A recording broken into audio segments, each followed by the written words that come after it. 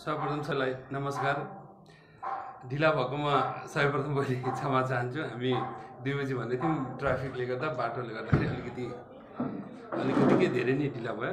त्यसको लागि extremely sorry र आज पहिलोचोटि सिक्किममा प्रेस क्लबमा यसरी एउटा प्रेस मिट गर्नु पाउनु पाइयो। त्यसको लागि धेरै धेरै खुसी लागेको छ र तपाईँहरू सबैलाई धेरै धेरै धन्यवाद पनि भन्न चाहन्छु।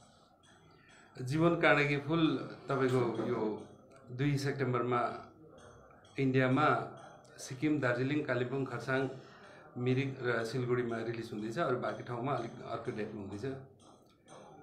र यो फिल्म चाहिँ के छ भने हामीले जति हामी यो फिल्ममा खेल्ने कलाकार हुन्छ भित्रका बाहिरका सबैले धेरै नै माया गरेर धेरै नै यसलाई चाहिँ मनदेखि बनाएको फिल्म हो यो। यो एउटा फरक खालको फिल्म हो यो। सबैले भन्छ कि हाम्रो फिल्म फरक छ भन्छन् तर यहाँ चाहिँ किन फरक छ भन्दा यो फरक खालको फिल्म हो किनभने झमकजी नै एकजना फरक मान्छे। जीवनमा अलग्गै एउटा सङ्घर्ष गरेर एउटा उहाँले एउटा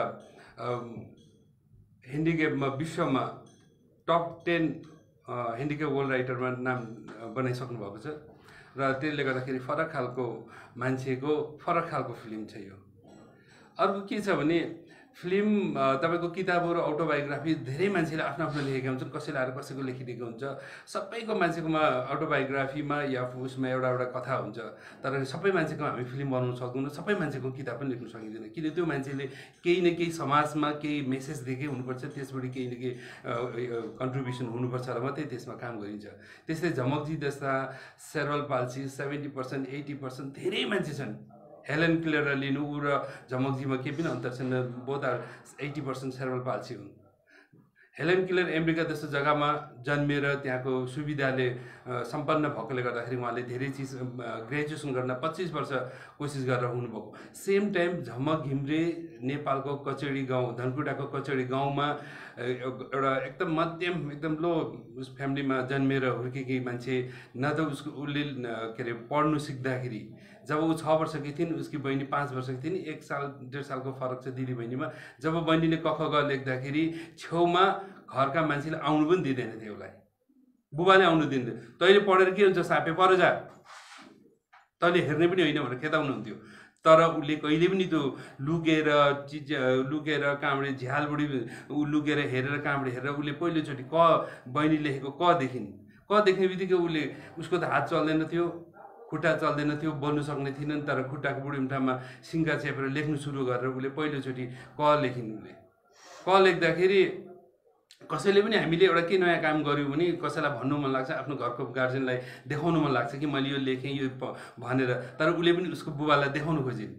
भुइँमा बाहिर आँगनमा लेखेको क ठुलो क लेखेर देखाउनु खोज्दाखेरि बुबा ए ए ए उहाँको बोली यति नै मात्रै आउँछ योभन्दा अरू धेरै केही पनि आउँदैन।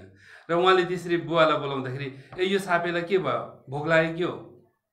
भनेर जानुभयो। त्यति बेला उसले लेखेको कलाई चाहिँ टक्कै कुल्चिदिएर आइदिनु फेरि ऊ फर्केर आएर त्यो क त्यो ठाउँमा फेरि उसले अर्को क लेखिन्। क लेखेर फेरि बुबालाई बोलाउँदाखेरि त्यति बेला आमा चाहिँ घाँसको भारी लिएर आउँदै गर्दाखेरि त्यो घाँसको भारी लामो भएकोले गर्दै लेखेको कलाई सट्टै मेटाइदिएर गयो। मेटाइदिएर जाइसक्नु भएपछि बुबा पनि एकतिर जानुभयो आमा पनि जानुभयो कोही पनि थिएन।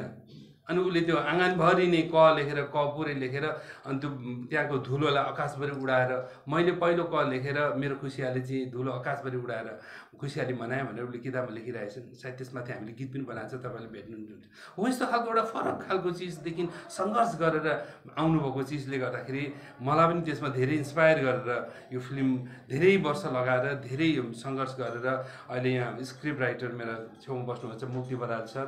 उहाँले स्क्रिप्ट अ, सम्वाद लेख्नुभएको छ र उहाँले अहिले भनिहाल्नुहुन्छ र यसमा तपाईँको आर्टिस्टहरू खोज्दा पनि हामीले धेरै आर्टिस्टहरू खोज्नु पऱ्यो साना ठुला यो मिल्ने ओर्ने अब कस्तो आर्टिस्टहरू चाहिन्छ भन्दाखेरि अब सानो झमकको त अब अहिले तपाईँले फिल्ममा देख्नुहुन्छ कि त्यो सानो झमक भनेको चाहिँ दुई पार्टमा झमकको किरदार छ। एउटा सानो एउटा ठुलो। किन सङ्घर्ष त बाह्र तेह्र वर्षसम्म मात्रै धेरै ठुलो सङ्घर्ष झमकजीको अनि त्यसले गर्दाखेरि सानो पार्टको एउटा झमक र ठुलो पार्टको झमक दुईवटा झमक बनाएको थियो हामीले।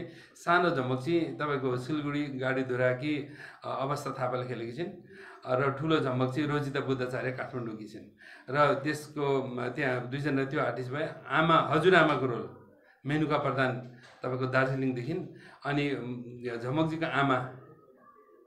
को रोल चाहिँ हाम्रो उमागिरीजी उहाँले खेल्नुभएको छ। तपाईँहरूले फिल्ममा देख्नु सक्नुहुन्छ उहाँ आमा कति छुची हुनुहुन्थ्यो कि कस्तो माया लाग्दो हुनुहुन्थ्यो त्यो चाहिँ अब फिल्ममा हेर्नु होला है। र त्यो फिल्ममा अघि मैले एउटा क लेख्ने गीत भन्ने एउटा जुन हामीले भन्यौँ त्यो गीत गाउने गायिका जुनु गौतम चाहिँ यहाँनिर हुनुहुन्छ उहाँले गाउनुभएको गीत। र यो यसमा हाम्रो फिल्ममा के छ भने अघि सरले एउटा कुरा भन्नुहुन्थ्यो। हेर्नु धेरै फिल्मको प्रमोसनमा हामी जान्छौँ अरू पनि आउँछन्। फिल्मको प्रमोसन आए आर्टिस्ट राखे। हाम्रै आर्टिस्टहरू हुन्। हाम्रो फिल्म अलग्गै छ।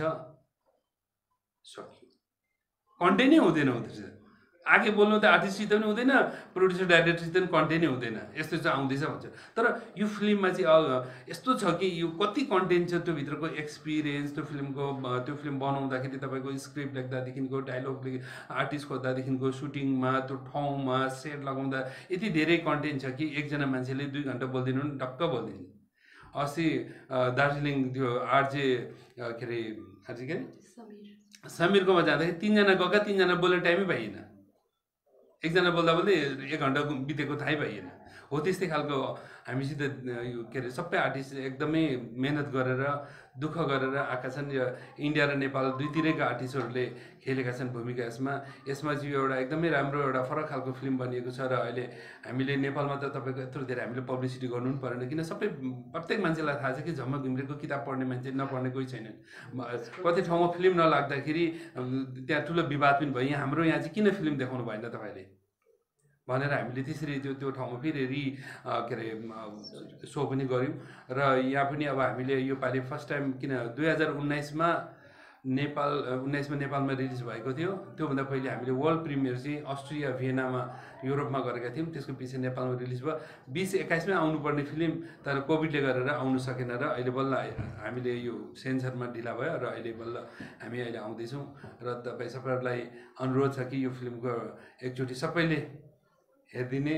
यसमा यो घरका पुरा फ्यामिली सबै आएर बसेर हेर्दाखेरि हुन्छ। यसमा कसैलाई केही टेन्सन हुँदैन। कतिवटा फिल्म घरका सबै परिवार आएर बसेर हेर्नु पनि सकिँदैन र यहाँ त्यस्तो केही पनि छैन। र अरू केही अहिले क्वेसन हुँदा म क्वेसन भन्छु र एक खेप सबैलाई बोल्नु लगाएर हामी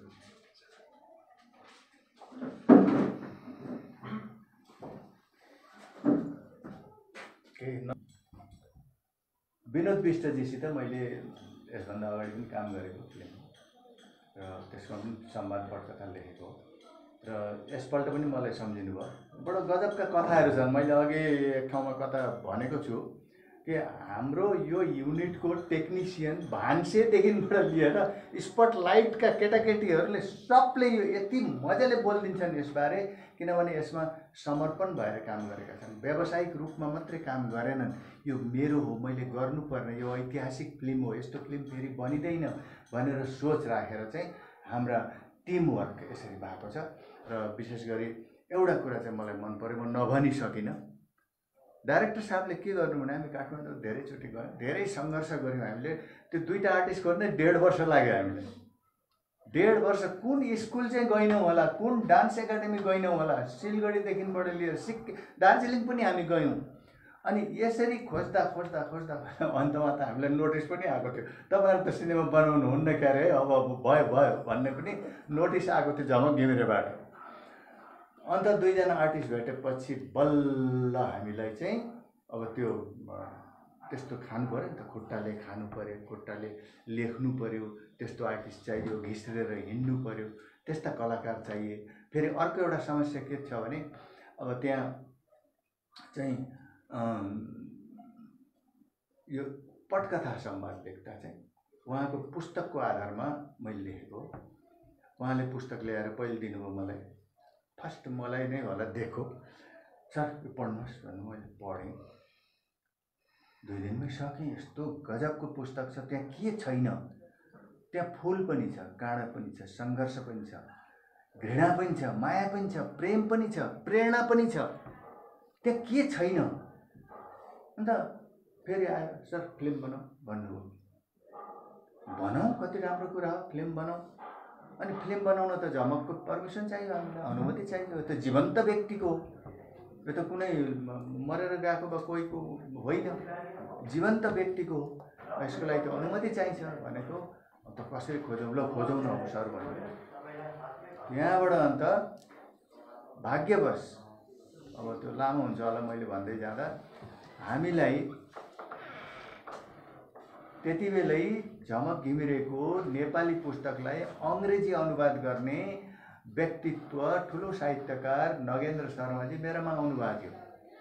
अनि उहाँले चाहिँ त्यो झमकको अङ्ग्रेजी किताब चाहिँ त्यति बेला दुई हजार बाह्रमा यहाँको भानु जयन्तीमा पवन चामलिङको बाहुलीबाट विमोचन गर्ने विचार राख्नुभयो।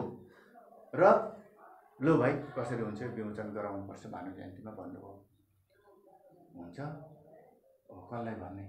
म त स्कुलको टिचर हो यहाँ अघि मैले पनि एक दुईजना टिचर भेटेँ मैले विद्यार्थी। र बिरु वाङ्देल भन्ने मेरो यहाँ एकजना विद्यार्थी थिए त्यति बेला अहिले पनि छन् होला। र उनलाई फोन गरेँ मैले यसो यसो कुरा चाहिँ। होइन सर आउनु। म मिलाइहाल्छु नि। भनेपछि त्यसरी यहाँ विमोचन भएपछि अनि नगेन्द्र शर्मालाई चाहिँ फिल्म बनाउने कुरा भन्दा उहाँले भन्नुभयो झमक घिमिरे साहित्य कला प्रतिष्ठान छ। त्यसमा गएर तपाईँहरूले अनुमति लिनुपर्छ। त्यसको सल्लाहकार हुनुहुन्छ डाक्टर गोविन्दराज भट्टराई सभापति हुनुहुन्छ गोपाल गुरागाई सचिव हुनुहुन्छ हाम्रो जनार्दन। घिमिरे। र उहाँहरूसित अनुमति लिनुपर्छ भनेर भन्दा हामी म अब छोटकरीमा भन्छु हामी काठमाडौँ धायौँ त्यहाँबाट नि के अरे कचिडे गाउँ गयौँ होइन? होइन? त्यहाँबाट गएपछि अनि सन्तुष्ट गरायौँ सबैले भने चलचित्र झमकजी त पहिले के भन्नुहुन्थ्यो भने चलचित्र बनाउने भन्छन् के भन्छन् कसो भन्छन् मैले लेखेको कुनै के गरेको खाएको फोटो खिच्छन् लान्छन् त्यहाँबाट नि बोल्छन् अनि हाल्छन् भन्नुभयो। मैले भने हामी त्यसो गर्दैनौँ हामी चाहिँ सही रूपमा के हो चलचित्रको परिभाषा त्यही परिभाषा अनुरूप नै चलचित्र बनाउँछौँ भनेर उहाँलाई हामीले कन्भिन्स गऱ्यौँ। त्यसपछि हुन्छ नि त भनेर प्रतिष्ठानका सबैसित बसाएर एउटा शर्तावली बनायौँ नियम बनायौँ अनि कन्ट्र्याक्ट फर्म एउटा बनाएर त्यहाँ सही गरेर लो अब तपाईँहरू लेख्नुहोस् भनेपछि अनि बल्ल लेख्न थाल्यौँ हामीले। अनि लेख्न थालेको आठ नौ महिनामा लेखिसक्यो। लेखिसकेर उहाँलाई देखाउनु पऱ्यो देखाउँदा पनि अब कति हो कति हो नै कुरा त्यसमा। जीवन्त व्यक्तिको अब कोही त यो भएन भन्नुहुन्छ कोही त त्यो भएन भन्नुहुन्छ। अब एक ठाउँमा दुई ठाउँमा म कुरा तपाईँहरूलाई टेक्निकल कुराहरू कस्तो अप्ठ्यारो पऱ्यो त्यो भन्न पनि खोज्छु म। पटकथा लेख्दाखेरि अब झमक घिमिरेको लोकेसन भनेको उहाँको घर आँगन हामी त्यहाँबाट बाहिर जानु सक्दैनौँ। अब स्क्रिन प्लेले के माग्छ भने यहाँ एउटा लोकेसन छ भने अर्को सिनमा अर्को लोकेसन माग्छ। फरक लोकेसन भने देख्न पनि मजा अब हामी ती एउटा सिन कट गरेर समाप्त गर्नुपर्छ फेरि त्यही ठाउँबाट अर्को क्यामेरा अन गर्नुपर्छ। त हामीले धेरै सोचेर मैले लेखिसकेर हामी दुई भाइ धेरै सोचेर बनायौँ बनाएर लग्यौँ। त्यसलाई हामीले पाँच छपल्ट त झमकज्यूबाट करेक्सन गरायौँ तिन वर्ष लाग्यो। हेर्नुहोस् है। अब किन लाग्यो? पढ्दै जानुहुन्छ। होइन यो त बोरा होइन नि हौ भन्नुहुन्छ। भने तपाईँले त किताबमा बोरै लेख्नु भएको छ? बोरा होइन यो। अन्त के हो त भन्दाखेरि यो चाहिँ त्यो के अरे चिठी पत्र हाल्ने झोलाको बाक्लो लुगा हो त्यसको चाहिँ लुगा बनाइदिनुहुन्थ्यो बाले। म घिस्रेर धेर च्यातेँ भनेर। भनेर त्यो पनि चेन्ज गर्नु पऱ्यो अन्त अर्को कुरा मेरो यो घटना त चार वर्षमा घटेको अनि अर्को घटना त सात वर्षमा भएको अर्को त नौ वर्षमा भएको अर्को बाह्र वर्षमा अर्को तेह्र वर्षमा भएको भयो भयो मुस्किल। अब हामीले के गर्ने हो त्यत्रो बिघ्न झमक दुइटा खोज्नु हामीले डेढ डेढ वर्ष लाग्यो। त्यत्रो बिघ्न झमक त कसरी खोजिसक्नु? होइन हजुर हामी एउटा सानी झमक गर्छौँ। सानी झमक्कै तिन वर्षदेखिबाट आठ नौ वर्षसम्मको गर्छौँ दस बाह्र वर्षसम्मको। त्यसपछि तरुनी झमक ल्याउँछौँ र तरुनी झमकबाट अरू गराउँछौँ। दुईवटा झमक गर्छौँ। त्यसो हुँदा हाम्रो टेक्निकली सजिलो हुन्छ भनेर उहाँलाई कन्भिन्स गराउनु पऱ्यो बुझाउनु पऱ्यो बुझ्नुभयो। तर मस्तिष्क तीक्ष्ण छ है उहाँको। बोल्न सक्नुहुन्न के बोल्नु लेखेर दिनुहुन्छ सोच्ने क्षमता यति धेर छ फेरि पढ्नुहुन्छ धेरै विश्वका सबै किताब पढ्नु भएको छ उहाँले। यति ज्ञानी हुनुहुन्छ उहाँ। बडो गजब लाग्छ उहाँको तर्कहरू तपाईँले सुन्नुभयो भने गएर भेट्नुभयो भने उहाँसित गफ गर्नुभयो भने गजब लाग्छ तपाईँहरूलाई आनन्द लाग्छ।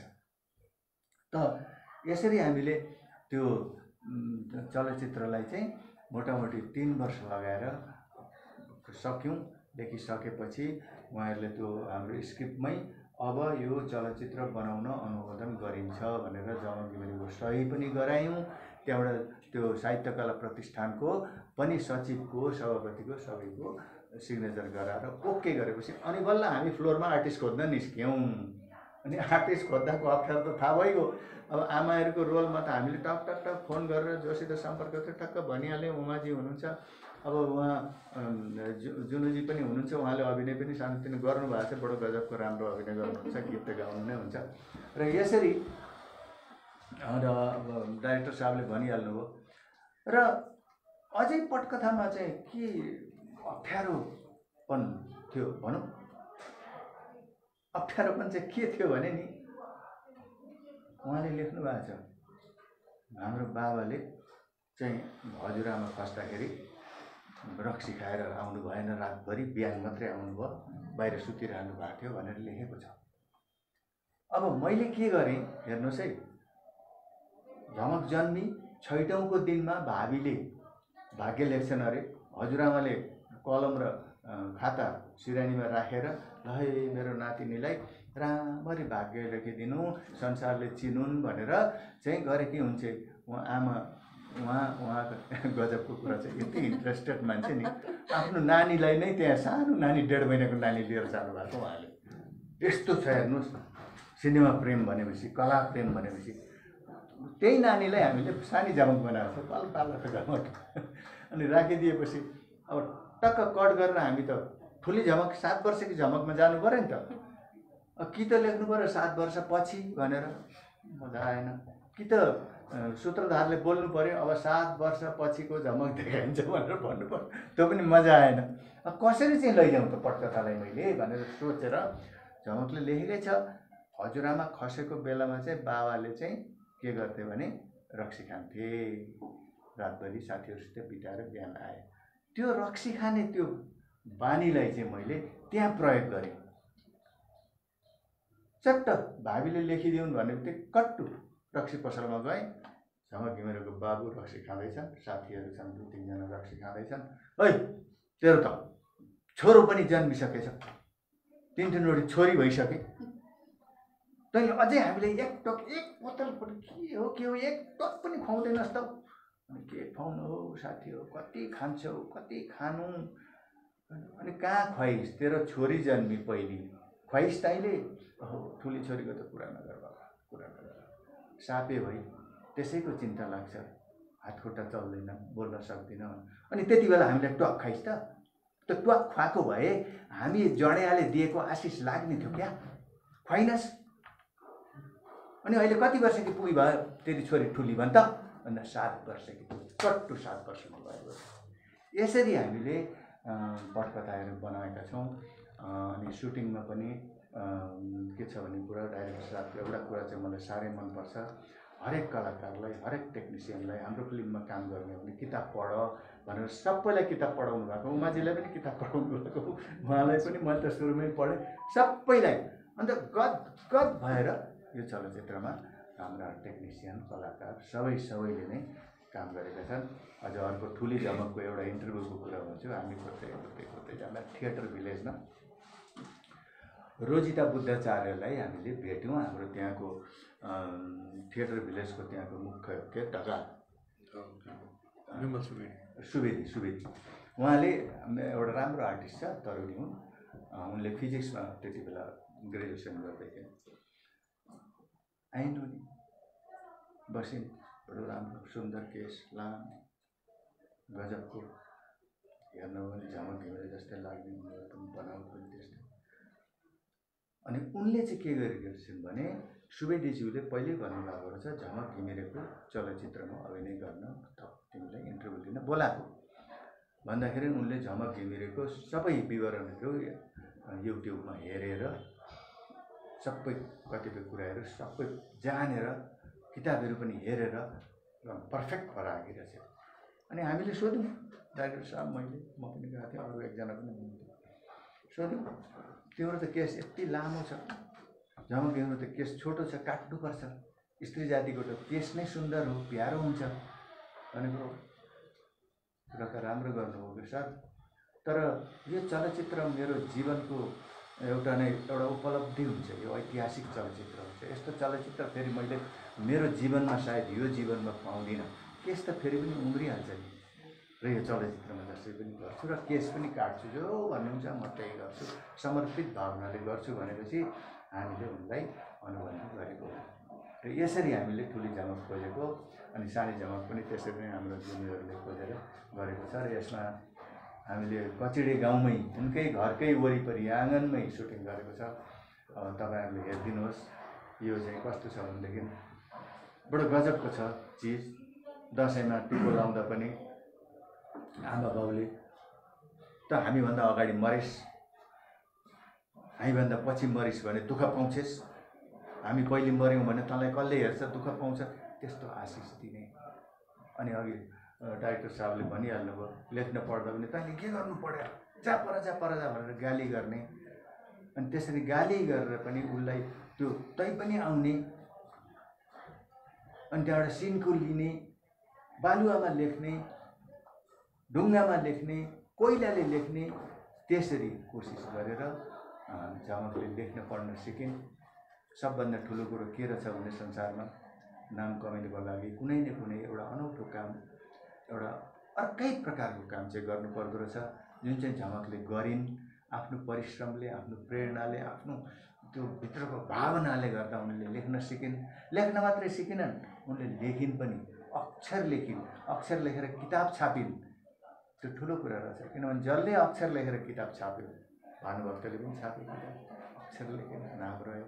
आज भानुभक्त भक्तलाई संसारभरि मान्छेले मान्छन् देवकोटा इन्द्रबहादुर राईहरू सबै सबैले अक्षर लेखेरै ठुलो भए र मेरो अनुभव अनुरोध छ सबैलाई दर्शकवृन्द आफ्ना नानीहरूलाई पनि सङ्घर्ष गर्न सिकाउनलाई प्रेरणा दिनलाई। यो चलचित्रले निश्चय ठुलो एउटा भूमिका पालन गर्नेछ। आइदिनुहोस् हेरिदिनुहोस् आफ्ना नानीहरूलाई पनि देखाउनुहोस्। शिक्षकहरूलाई पनि अनुरोध छ आफ्ना विद्यार्थीहरूलाई पनि यो कुरा भन्नुहोस्। यस्तो छ है त्यहाँ नानी हेर्नुपर्छ है। हेर है यो जीवन हो जीवन सङ्घर्ष हो अनि फुल पनि हो काँडा पनि हो भन्ने कुरा बुझाउन सक्नुपर्छ र मेरो निवेदन सबै सबैले यो चलचित्र हेरिदिने म विशेष गरी अनुरोध गर्दछु। अरू मैले के भनौँ सिनेमा भन्दा हेला गर्छन् क्या मान्छेहरूले। तर यो त्यो टाइपको हेला गर्ने किसिमको मारधर फाइटिङ प्रेम भएको होइन एउटा सङ्घर्षको कथा हो। र आइदिनुहोस् माया गरिदिनुहोस्। हामीलाई चलचित्रलाई माया गरिदिनुहोस् अनि हामीलाई अझै प्रेरणा दिनुहोस् यस्ता किसिमको अझै चलचित्र बनाउने डाइरेक्टर साहबलाई प्रड्युसर साहबलाई अभिनेता अभिनेत्रीहरूलाई प्रेरणा दिनुहोस्। हामी निश्चय अघि बढ्छौँ। धन्यवाद। को धेरै कुराहरू त अब उहाँहरूबाट तपाईँले जानकारी पाइसक्नुभयो। अब मेरो अनुभव चाहिँ सुटिङमा कस्तो रहेको थियो सुटिङ कसरी गऱ्यौँ होइन? कसरी एक्टिङ गऱ्यौँ भन्ने कुरा हामी जान्छौँ है? विनोदजी आउनुभयो काठमाडौँमा। मलाई अब कुरा राख्नुभयो पहिला चाहिँ। कि तपाईँलाई एउटा चलचित्र भनेर हाम्रो क्यामराम्यान शिव ढकालको थर अनि सिबी हाम्रो बाजे हुनुहुन्थ्यो। उहाँको थ्रु नै उहाँले मेरो नाम लिएर चाहिँ आउनुभयो।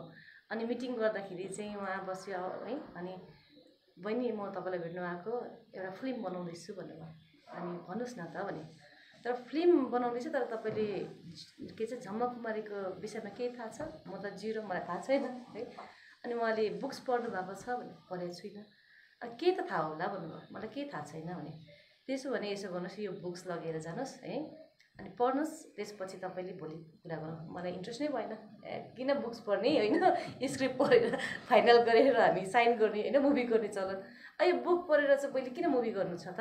भने मेरो है सोचाइ त्यसपछि उहाँले मलाई घर गएपछि बुक पढ्नुभयो भने मैले पढिनँ। ए मैले त टाइम मिलेन भने। अनि म लिङ्क पठाइदिन्छु तपाईँलाई है भन्नुभयो। युट्युबबाट उहाँले भोलिपल्ट मलाई लिङ्क पठाउनु भयो त्यसपछि म त्यो दिन घरमा बसेर रातभरि त्यो लिङ्क्सहरूलाई खोली हेर्दै गएँ युट्युबमा हेर्दै गएँ। उहाँको बारेमा है त्यो बुक्स पढ्नुभन्दा धेरै मैले युट्युबमा गएर सिकेँ होइन? उहाँ झम्मजी मैले बुझ्नु पऱ्यो नि त के हो कस्तो रोल गर्दैछु होइन? के हो भन्ने कुरा बुझेर मैले दुई दिनसम्म युट्युब हेर्दाखेरि मेरो आङ जिरिङ्ग भयो कि? ओ माई गड यस्तो मुभीलाई चाहिँ मैले छोड्न लागेको है?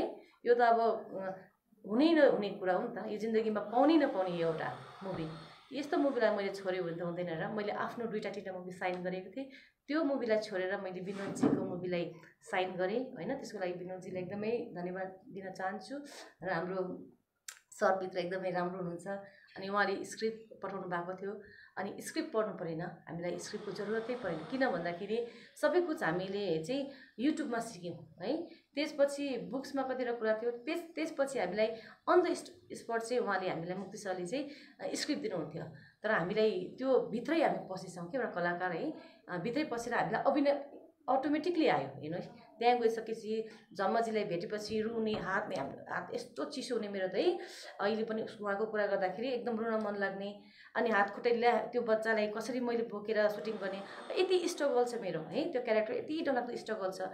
रुखमा चढेर दाउरा घाँस काट्नुपर्ने जम्मालाई बोक्नु पर्ने होइन? अब त्यो बच्चाले कति अब आमालाई होइन? आफ्नो आमाले कहिले पनि आफ्नो बच्चालाई होइन? मरोस् मरिहाल होइन? तँ नजन्मेको बा समाजले त राम्रो गर्थ्यो होइन? तैँले गर्दाखेरि आज हामीलाई यो समाजले हेर्नु सकेको छैन। कति त्यो बच्चाले नबोले त पनि सुन्न त सक्छ नि होइन? बुझ्न त इसाराले सकिरहेछ नि। तर त्यो आमालाई कति पीडा भयो होला है? कति दुःख कष्ट भयो होइन? तर अब झम्मालाई बुझाउँदा झम्माजी बुझ्नुहुन्न होइन? आमाको कुरा गर्दाखेरि ए यो त यस्तो आइमीको त छेउ पनि पढ्नु हुँदैन यस्तो कुराहरूसित भेट्नु पनि हुँदैन। समाजले पनि उनीहरूलाई एकदमै डोमिनेट गरेर राख्यो। एक त उहाँहरूको त्यतिखेरको समयमा है न खाना इच्छा खाने राम्रो खाने पनि थिएन है। त्यो समयमा एउटा समाजले सपोर्ट गर्नुपर्ने बेलामा उहाँलाई हिला गर्नुभएको थियो है।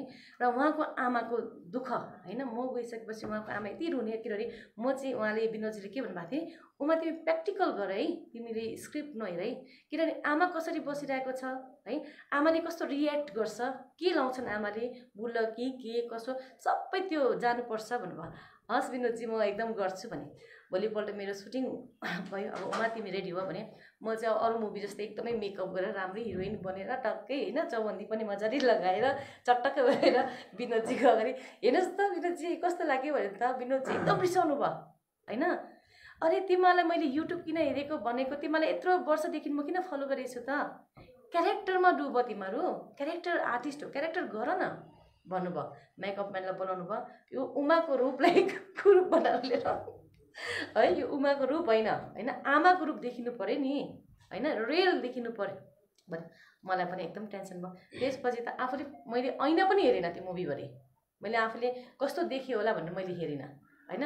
त्यो एकचोटि हेर्ने बित्तिकै यो चाहिँ अब त्यतिखेरको समयमा होइन न मेकअप न के न यो के छ फाटेको चौबन्दी चोरी पुरानो यहाँ माथि तल होइन त्यो ड्रेसअप त्यतिखेरको त्यो हिसाबको छ होइन? टिपिकली नेपाली भनौँ न होइन? त्यसपछि अब स्टकल अब झम्मजीकोमा गएँ बात मारेँ। त्यो झम्मजीको मैले जति त्यो बच्चालाई पिटेँ नि होइन त्यति मेरो यहाँ मन दुख्थ्यो क्या यहाँ रुन्थ्यो म आफै नै होइन? अब वान टेकमा ओके गर्नुपर्छ किनभने हार्ड वर्क छ यो चलचित्र है? एक टेकमा ओके सबैजना हुनुपर्ने। टु टेक गर्ने बित्तिकै हामी डायलग पनि बिर्सिन सक्छौँ हामीले अभिनय पनि बिर्सिन सक्छौँ होइन? त्यसले गर्दा त्यो बच्चालाई सम्हालेर मैले काम गर्नु मलाई एकदमै गाह्रो भयो। त्यो बच्चालाई सरापेको छु मैले होइन? कुटेको छु। साँच्चीकै नै कुटेको छु मैले होइन? किनभने आवेशमा हुँदाखेरि थाहा हुन्थेन नि। पिटेको अब त्यो बच्चा त राम्रै बच्चा हो नि। उसले त एक्टिङ त गर्दैछ। मैले यस्तो पिट्यो है सुम्लाई सुम्ला हुने भोलिपल्ट त्यो बच्चाले मसित सुटिङ गर्नै नमान्ने पुरा पिट्न हुन्छ भने तर त्यो बच्चाले के थियो पिट्यो भने पनि त्यो दर्दले म एक्टिङ गर्नु सक्दैछु भन्नु त्यो जुन चाहिँ दुखाइ छ नि त्यो दुखाइले मेरो आँखाबाट आँसु आएर मैले एक्टिङ गर्न सक्दैछु भन्ने कि? त्यो एउटा बच्चाले त्यति डरलाग्दो कोसिस गरेको छ भने हामीले किन नगर्ने? होइन? यस्तो कुरा भयो जस्तो अब मैले बोल्छु भने थिएँ मुक्ति सरले बोलिदिनु भयो जब हामी टिका लगाउँदाखेरि दसैँको चाडबाड आउँछ हेर्नुहोस् है? सबै छोराछोरीलाई चाहिँ तँ डक्टर बन है? तँ फल्ना बन तँ डिस्का बन तर झमजीलाई हामीले टिका लगाएर जाँदा तँ मरिहाल होइन? तँ छिट्टै मर्नुपर्छ। तैँले गर्दा आज यो दिन देख्नु पऱ्यो भन्ने खालको त्यो मेसेज छ। त्यो मेसेजले यति रुवायो यति रुवायो है त्यो चलचित्रमा हेर्दाखेरि पनि त्यो अभिनय हामीले गर्न न नगर्ने कि बिना दाई भन्दाखेरि त होइन गर्नै पर्छ। यो फ्याक्ट हो नि त देखाउनै पर्छ। हामीले शराब्दै बाउले शराब्दै टिका लगाइदिएको छ कस्तो भयो हामीलाई? हामी आर्टिस्ट हौ है? हामीले आफ्नो कला बेच्ने होइन यो मुभीमा चाहिँ हामीले कला देखाएको छ सत्य घटनामा बनेको चलचित्र हो। किनभने उहाँसितको फ्यामिलीसितको खालि जम जम्मजीलाई मात्रै होइन उहाँको त कर्मै त्यस्तो भइहाल्यो। सुन्नुहोस् है उहाँले त अब पाउनु भयो जन्म त्यस्तै। तर उहाँले गर्दा उहाँको बाउ आमाले कति दुःख पाउनु भएन। उहाँको बाउ आमाले कहिले पनि आफ्नो छोराछोरी मरिहालोस् है हामी घृणा गरौँ भन्ने त सोच्दैन नि कहिले पनि। आफ्नो छोराछोरीलाई माया गर्छ होइन?